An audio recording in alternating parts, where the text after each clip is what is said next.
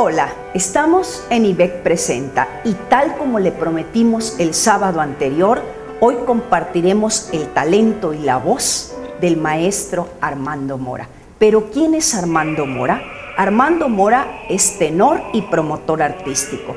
Nace en Jalapa y su primer contacto musical lo tiene en el seno familiar, pues su padre gustaba cantar en noches bohemias. Él inicia su carrera en el coro de la Universidad Veracruzana a los 16 años y a los 18 ingresa al taller de ópera.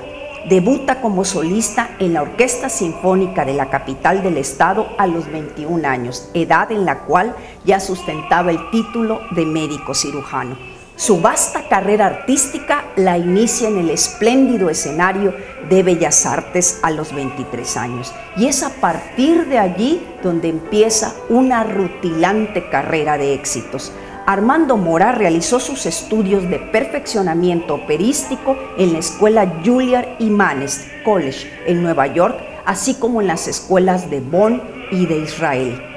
El tenor veracruzano se ha presentado en diversos escenarios del mundo, entre ellos en Dinamarca, en Ciudad de Cabo, en Sudáfrica, en Bonn, en Stuttgart, en Zurich, Chipre, Croacia y diversos estados de la Unión Americana, así como en distintos estados de México. Entre sus reconocimientos se cuentan uno de la Fundación Leader Kranz, otro de la Fundación Music Award de la Juilliard School de Nueva York y otro del Instituto de Artes Vocales de Tel Aviv.